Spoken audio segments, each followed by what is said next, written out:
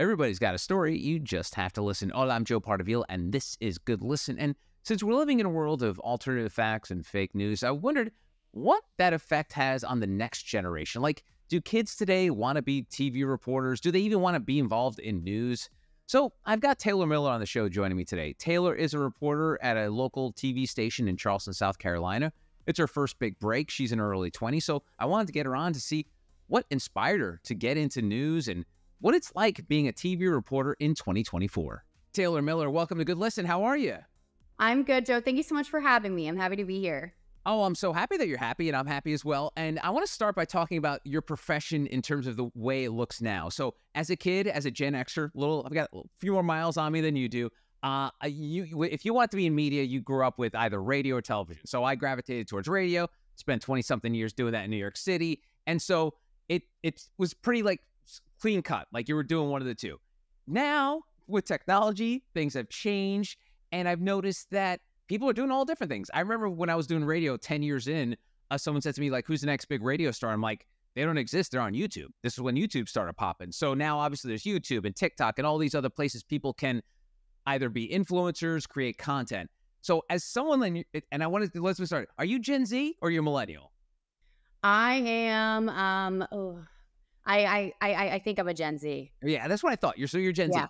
So, as a Gen Zer, is it common or uncommon that you would want to follow the path of traditional news? I mean, are there other folks? I mean, I'm sure there are, but like in your circle that are like, oh, I want to be a 20 something and I want to be on TV doing the news locally. So let's set to start this. Set, let's start that with that. Like, why news at your age?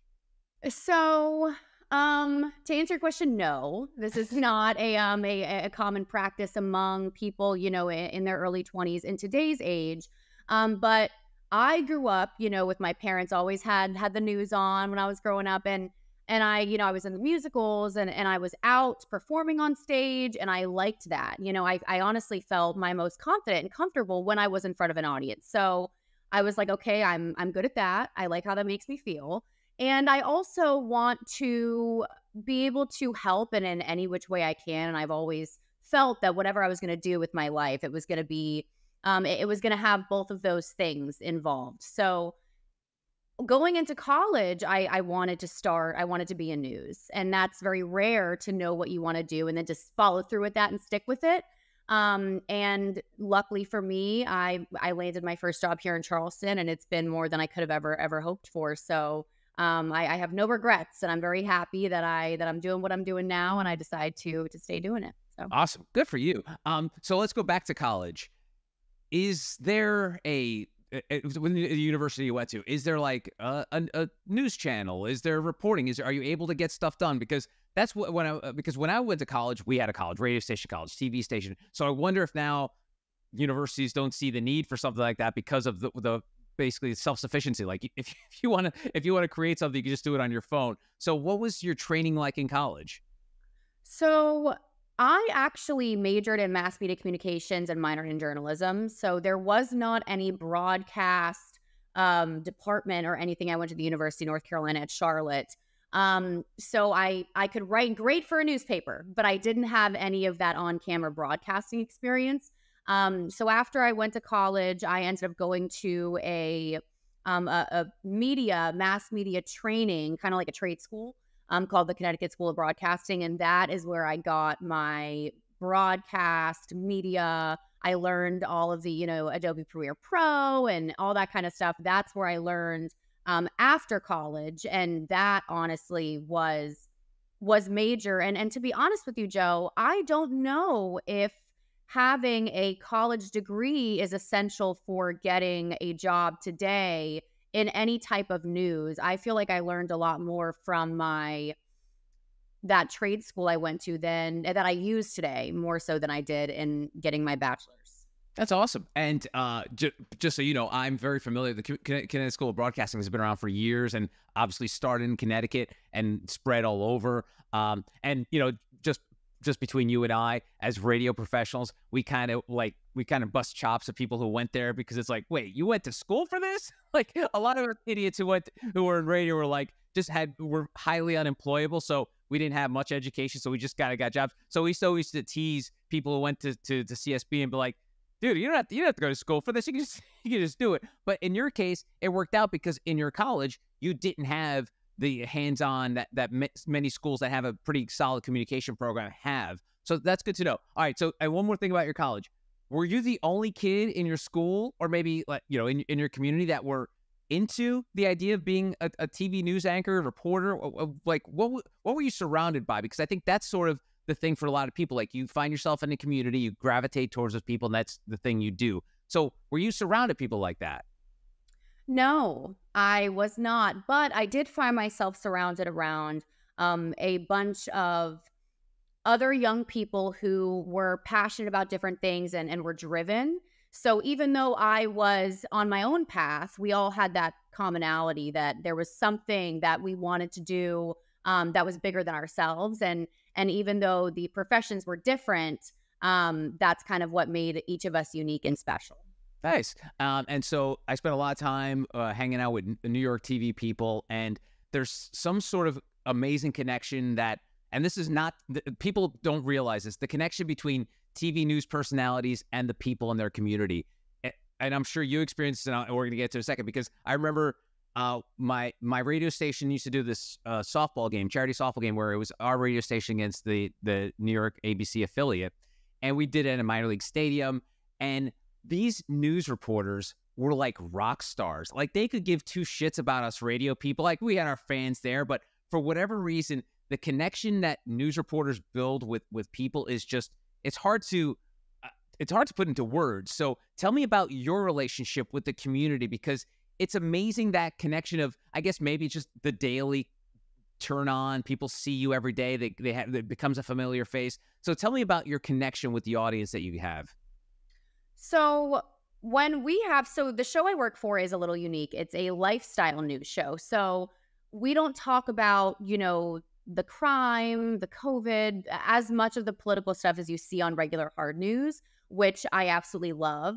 Um, so the the relationship's a little unique because we get to talk to all of these people who are just, you know, regular people that have their charity organizations or their stories that they want to share.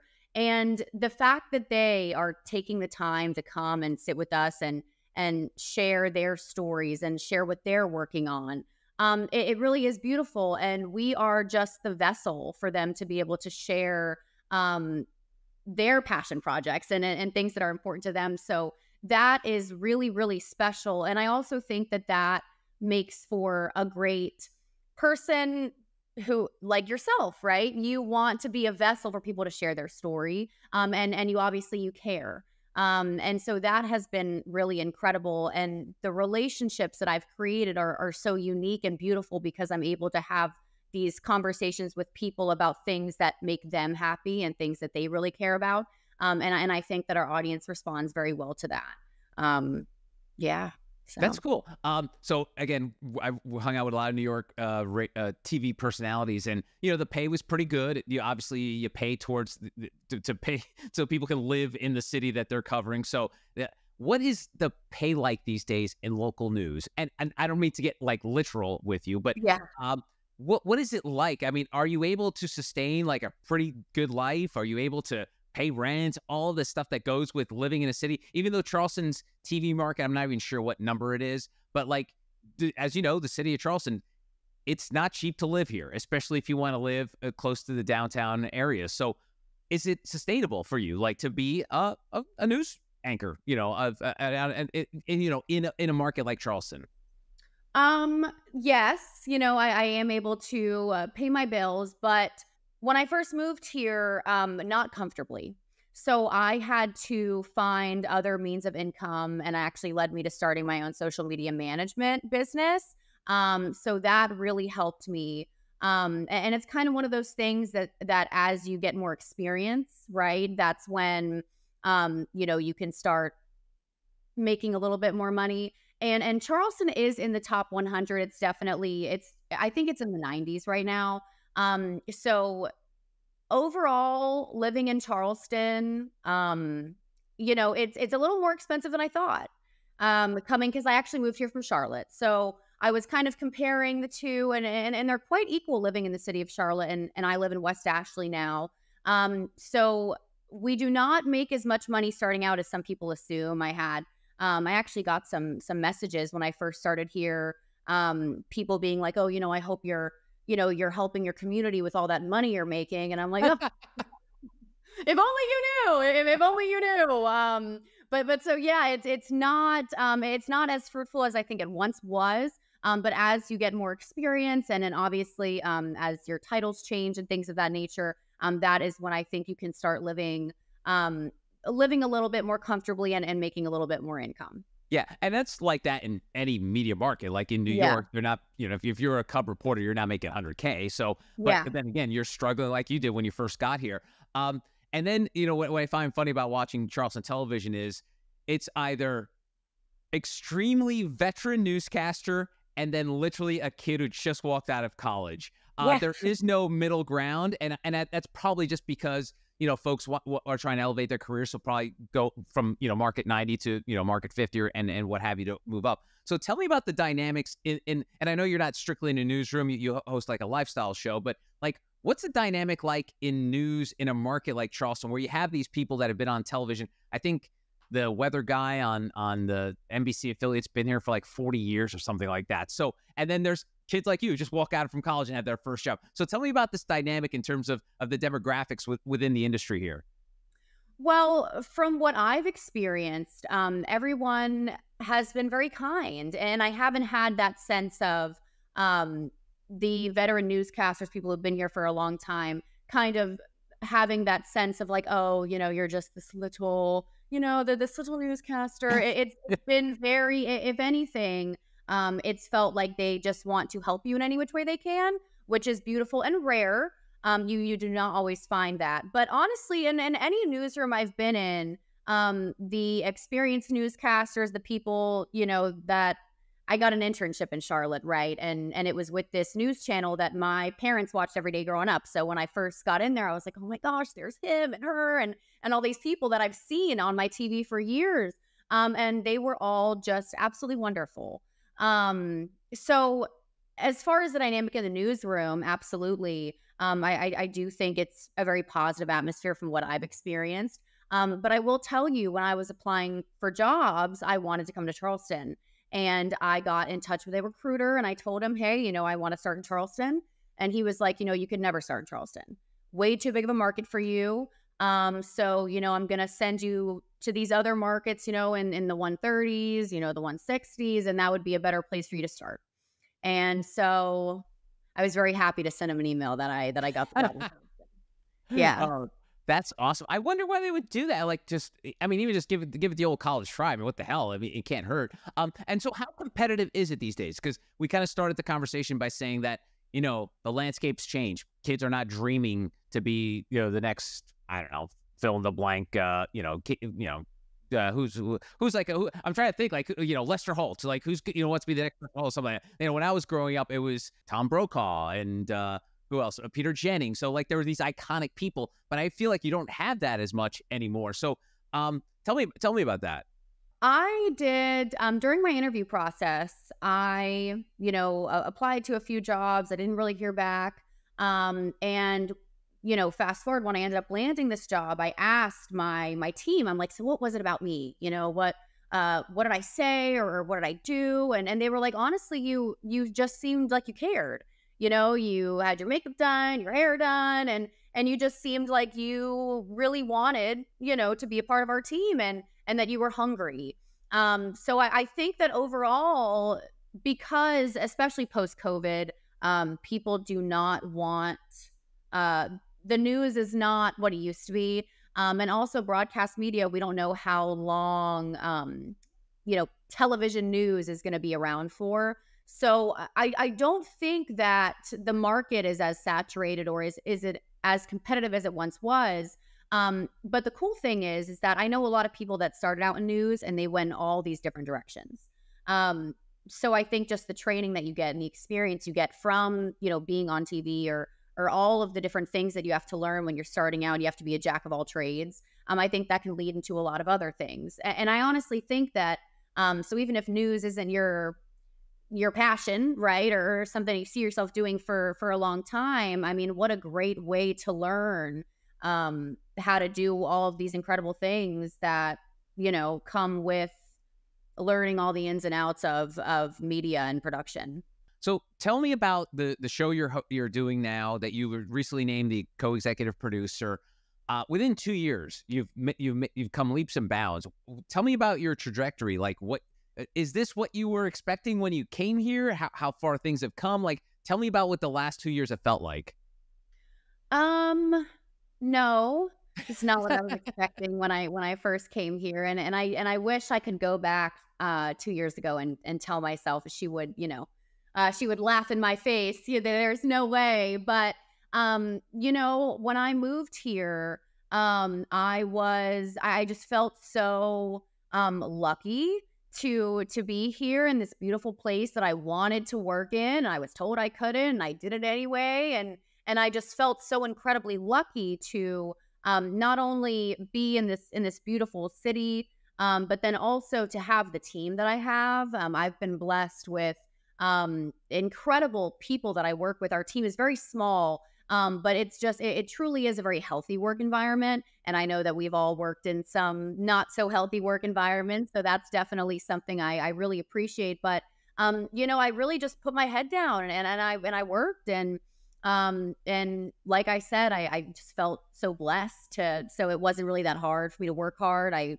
um, my first time, you know, moving far away from my family, I really didn't have much, much else to do. So, um, you know, I just came here and I worked hard and it's kind of been this slow process, but there's also been a lot of things that have happened, um, you know, fluke things that have happened, um, that have kind of put me in these positions to, um, to excel and, and to get, you know, that title change um, so quickly. That's not normal. Um, me even being able to conduct interviews like I do or host at any capacity is, is pretty abnormal for someone my age. But um, it's just kind of been a little bit of right place, right time. Um, but also, I, I do think that I have um, I have I have worked hard and, and it's been acknowledged.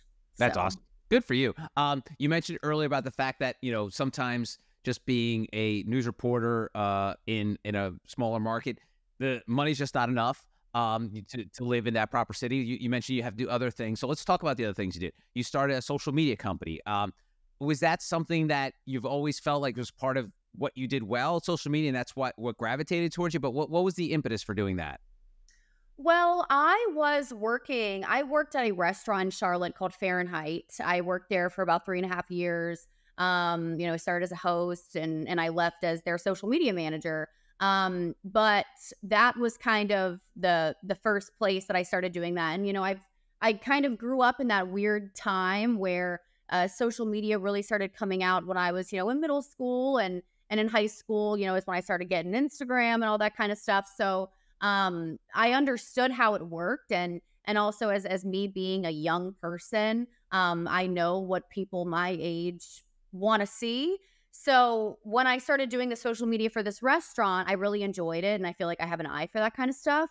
Um, and so for me moving here, um, and when I was talking about, you know, trying to get a side hustle, I knew that I could go back to the restaurant if I wanted to. Um, and and I have, you know, I, I love the restaurant industry and that will always have a special place in my heart. I did it for a long time, but I, I wanted to try something different. So um, I ended up, you know, getting a social media client um, who I've never met before, a plastic surgeon up in New Jersey. Um, and he was my first client. And then that's where Tailor Your Media was born. And so I just kind of been doing some outsourcing and, and really trying to figure out which direction I, I, I want to take it. Um, but that has been something I enjoy. I, I love the fact that I can really do it whenever, wherever, you know. I'm not tied to clocking in, clocking out, especially with my um, the job I have. It's it's a unique schedule, so um, it just all kind of made sense. And that has been something that has not only supplemented my income, um, but it's also something that I really do enjoy as well. That's awesome. And another thing uh, you have on your Instagram bio is options trader. Yeah. What, what, what is that? Yeah, so I um so I uh, play around in the stock market a little bit, and when I graduated from college, and I was you know I was going to broadcasting school, and I was bartending at uh, at the restaurant. Um, I just felt like something was missing. I felt like I wasn't doing enough, or I, there was just something that I was meant to be doing I wasn't doing. And um, obviously, this was after COVID, and so the stock market. I feel like that's when a lot of people started. You know, you heard about the you know the meme coins, the GameStop, all that kind of stuff. So um my dad actually was like hey girl like you know you should you should check this thing out. And i was you know i was i moved back home with my parents and um i was making money at the restaurant and so i had some money and i was like you know what? Whatever like let me just get, just give it a try.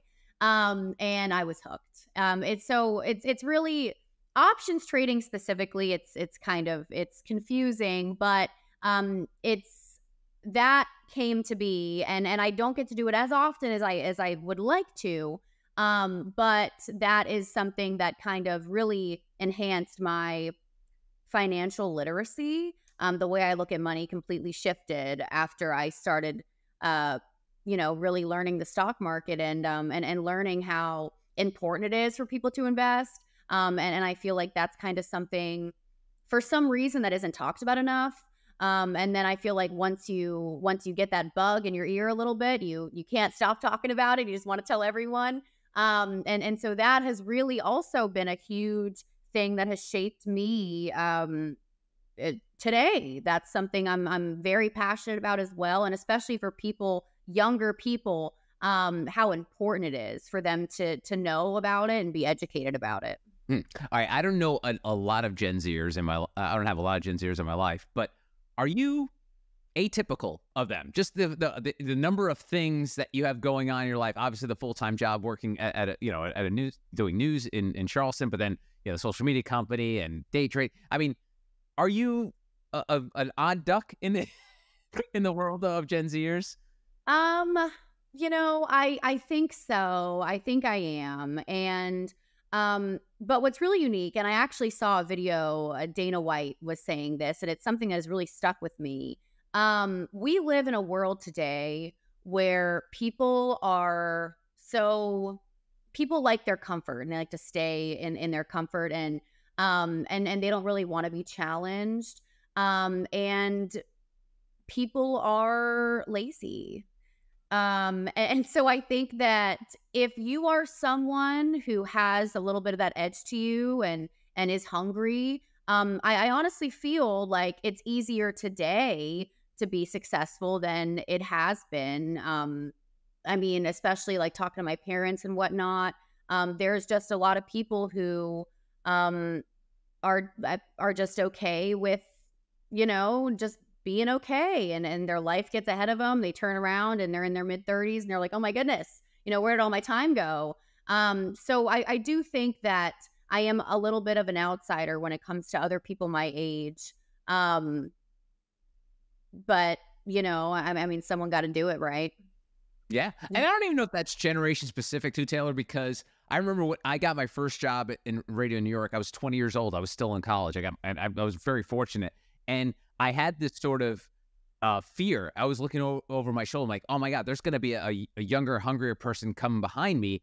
And I kept looking, I kept looking, I kept looking. And then 24 years later, I'm in, I'm I'm running a morning show on, on the air in New York City, and that person never came. Uh, so I, I don't know if it's specific to just your generation, but it could just be just being in the right place in the right time. I mean, that's obviously important because you know if the opportunity in Charleston wasn't open, you and even though you had dreams of working in Charleston, you, you the opportunity wasn't there, and it just so happened that it was. And it's funny you say that about you know when you apply for the job.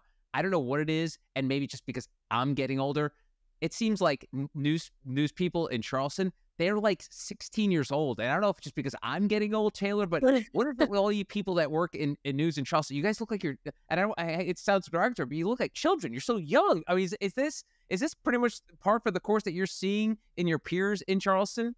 Well, honestly, Joe, I mean, yeah, but at the same time, I, I, mean, you go watch news anywhere. Now, in New York, obviously, is a little bit of a different situation. Yeah. We're not talking about New York City. Um, but I mean, you go watch news anywhere, and there are just younger people and i think also you know i grew up with these older people that were on the news right? They were you know people who have been in news for years and and they were you know household names and whatever you know they, they worked in whatever city. So i think that now just the times are changing like going back to what we said earlier um it's not as as as competitive as it once was. So um I, I really think that it is just um, just a, a thing that we're experiencing in today's day and age that all around the board, um, people are leaving much earlier than they were. Um, and then so there's just more opportunities for us us young people to come in.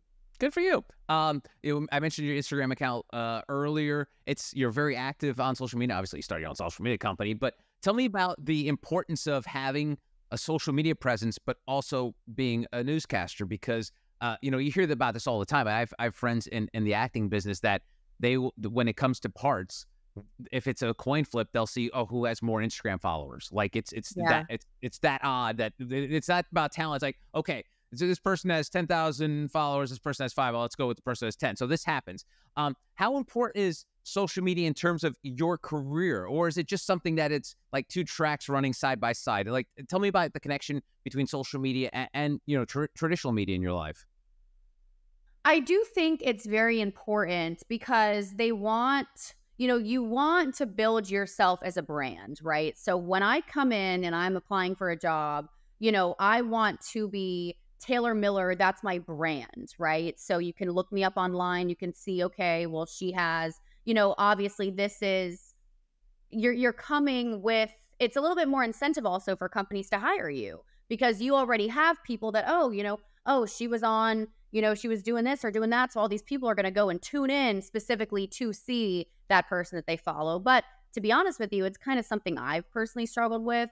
Um, keeping up with my own social media presence, especially doing, yeah, you know, especially doing uh, the social media management. Um, the last thing I want to do is is go and and uh, post on my own, you know, Instagram page and and and when you're busy that's just something for me that has kind of fallen by the wayside um, but i do think it's important and i've had um, i've had many people tell me managers and whatnot that um, how important it is especially when you're in more of like the lifestyle because you are selling yourself as more of a um, a personality or like or like a best friend or or a girl next door and that's really who you are um, and and you want to show that as true as you can and social media enables us to do so. So I do think it's important, and um, it's something I need to work on a little bit more. So, well, compared to this old Gen X, you're doing fine. But it is funny that you you have this self awareness about brand, uh, because I think my my mentor many years ago had this line that uh, I'll never forget, and I still use to this day. That when you know when someone in radio got fired, uh, he used to say, you know, you can't be a DJ without a microphone. And so, like people's identities were tied into their career. So they saw themselves. And I think I, I was guilty of this for a while too. Is like the person you are is like the job you have. And it seems, and this could be a generational thing, who knows, that you're not just tied into just your day job. You have this brand you're building outside of it, starting businesses, what have you. Um, so yeah, so that awareness of, of building your own brand was that just something that that was just second nature to you, or is that something you felt like you needed to do as you as you started your career? So I had a I did a little bit of modeling right when I was in high school and college and so it was kind of something that I feel like that instilled in me. Um but really I, I mean as far as as building the brand, I don't think I'm even close to to being there yet. I, I do think that, you know, like I said is very important. Um but I think that also the modeling i still have representation from my mother my mother agency so she is kind of the person i go to um, that kind of helps steer me in the right direction. Um, and, and so she has really pressed that into me, especially with the lifestyle direction that I have decided that I want to continue in. I don't see me being a hard news girly. So I, I think that um, it was instilled in me from a young age. And I think now the people even younger, um, just because social media is as powerful as it is, um, and it's such an important tool that you can really use to your advantage. Um, but it can also go both ways. It yeah. can be something that's extremely beneficial, but it can also really, really hurt you if you're not careful with it. And you mentioned your mother's agency. Your, your mother owns a, runs a modeling agency. No, no. So a, a mother agency. It's like my mother agent. So Oh, yeah. So so for example, she's based in Atlanta, right? And so she's my mother agent.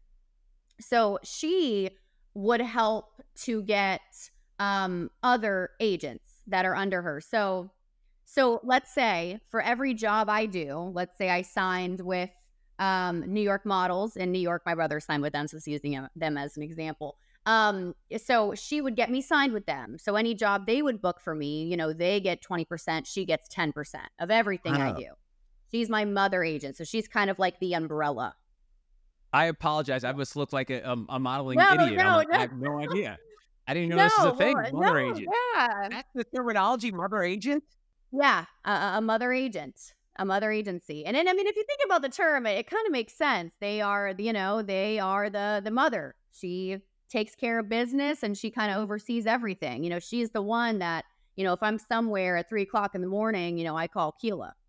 So, Wow. you know, or my mom and dad, of course, but you know, yeah.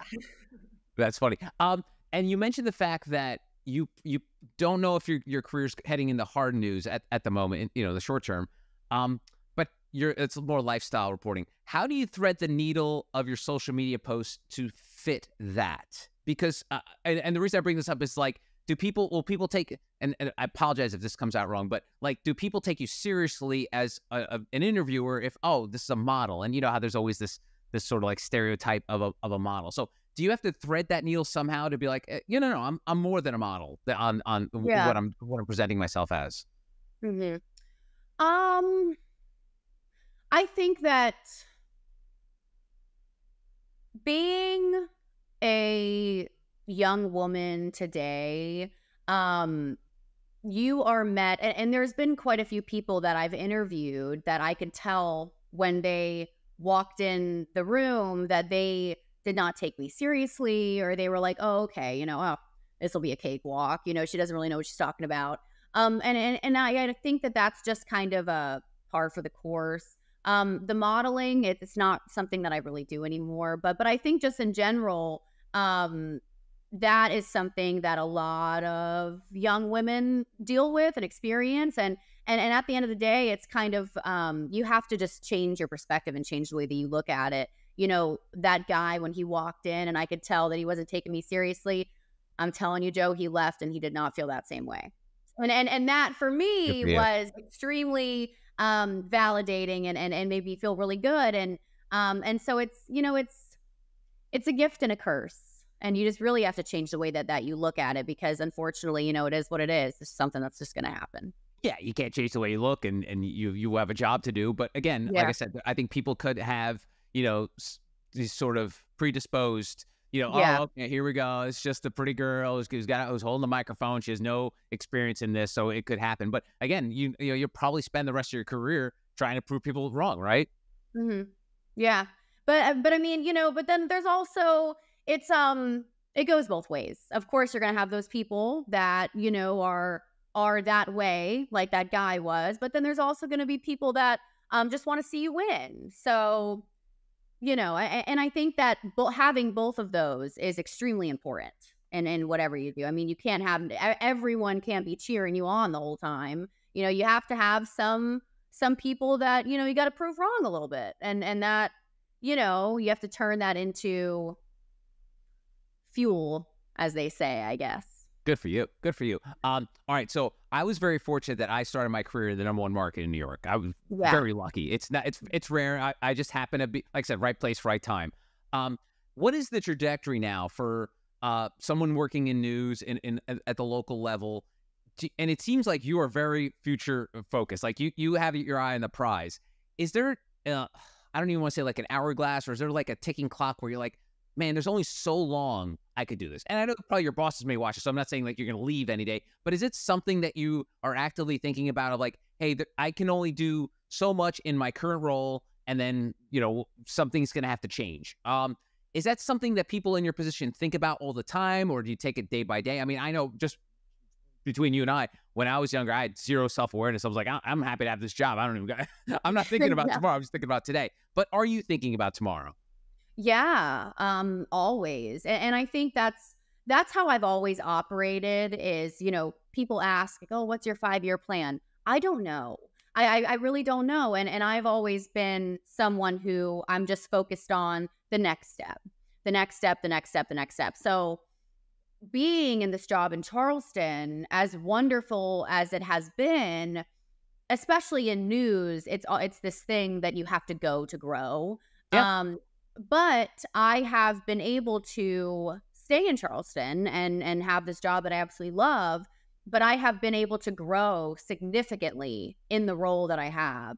Uh, traditionally, you know, people are reporters and then they move and they move. Like I, I do have a girlfriend that uh, went and started, you know, in, in one market, worked there for a year. Another market, she's just, you know, she is just, she's going and she's growing. And, and that's something that you have to do. Um, but luckily for me, I've been put in this position where now um, when I do, because I have stayed for two years, um, when I go to apply for that next job, whenever that is, um, I have this experience um, and these titles that are very important.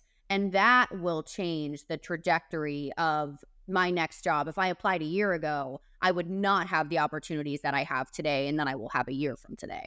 Awesome. It doesn't seem like you take your job for granted, but what is it like having this privilege of being able to be literally walk into people's living rooms every night, uh, help people tell their story? Um, because I always had this thing when I, when I worked in the radio station was, uh, you know, the the station was located in Midtown Manhattan, like a block away from the Empire State Building, and I remember like early on, I I again lacked terrible self awareness, but then one day as I was walking into the studio at four o'clock in the morning because I was working mornings, I looked up and my office was uh, uh, in the building connected to Madison Square Garden. And I was like, I looked up and I said, How cool is this? Like I have this privilege of being able to not only work in the in the biggest market in the world, have this amazing job, but like attached to the building that's had some of the greatest events that's ever happened in the history of mankind. And going forward from that day on, I was like, I I'm I get this privilege. I I I know I'm very fortunate. I mean, I worked my ass off, but I know I'm fortunate to have this privilege. What is it like for you to have this privilege right now in your you know your stage of your career to be able to have this connection, to connect with people in the community, to connect with people to walk into your studio to talk to them? Tell me about what that means like to you. Um, I mean, it's it's hard to really put into words how it makes me feel um, the conversations I have with people and um, and and really it's um, it's it's a gift and I don't really know what I did to deserve this right now um, but I do think that it has the way that it has these people's stories and and meeting all these incredible wonderful people who have you know who are uh, starting organizations and charities and, and who donate their time to their community. I, I mean, it really is um, an incredible privilege. And, and I don't know another job, maybe, you know, a podcast host who, who has the, the privilege of getting to talk to these people and, and getting to hear um, all, all of the wonderful things that they're doing. So um, it's emotional and it's, um, it, it can be a little, um, um, uh, emotionally exhausting because you want to you have all these people that you're talking to and you and you want to give them the platform and the questions that they deserve and um and, and i think it's it, it's stressful a, a, little bit because because you are put in this position and you, and you want to do such an incredible job for them and whatever they have going on. Um but really I, I mean the privilege is like i said i don't know why i'm here or, or, why i'm put in this position but i do feel like it will all make sense one day. And um and and, and i just feel so incredibly lucky and blessed and um to have this job that i absolutely love so much. I mean oh my goodness i feel like that's so rare these days to do something that you love um, and I do something that I absolutely love. And and the people that I've met here and the relationships I've made are um, you can't put a price tag on that. And and it's my job that I go to every day. So it, it really is a blessing and um and, and something that I don't think I will ever take for granted. Ever. knock on wood. Awesome. Well said. Yeah. Uh, her name is Taylor Miller. Taylor, if folks want to connect with you, follow you if they're not in the Charleston area, but want to, you know, track down where you are and find out more about you. Where's the first place to start? Um, I would say my Instagram, Taylor underscore Miller two four nine. Um, but yeah, and also, I mean, email me. Like, I would love to connect. And if you have a story you want to share, you can email me at tcmiller at foxcharleston.com. Um, and I would absolutely uh, be honored. And Joe, thank you again for for having me on and taking the time to talk with me today. It's so weird being on the other side of of the interview. It, It's always awkward when it's reversed. Like even when I'm a guest somewhere, I'm like, wait a minute, I should be the one steering the conversation. But I'm glad you were know, you were a willing guest. I appreciate you taking the time, and I wish you the best of luck. Thank you so much, Joe. Thank you, as as I do to you as well. And that's going to do it for this episode of Good Listen. Uh, you can always connect with me on X, LinkedIn, or Instagram at Joe Pardavila or on TikTok at J Pardavila. If you want to shoot me a note and tell me your story, you can write me, Joe Pardavila, at protonmail.com. If you're watching this on YouTube, I'd love it if you could hit that thumbs up button. It's a small gesture, but it really helps my channel. And if you're checking this out on Apple or Spotify, please leave a five star review. I would really appreciate it. Thanks for spending some time with me today. I will see you next time. Adios.